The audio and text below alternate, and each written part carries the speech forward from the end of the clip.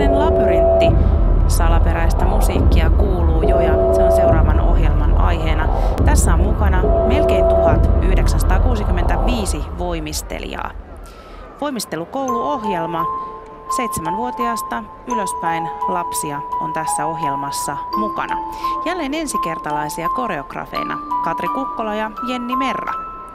He ovat tehneet jo teini-iässä ensimmäisiä koreografioitaan ja nyt sitten pääsevät näyttämään osaamistaan isolla areenalla.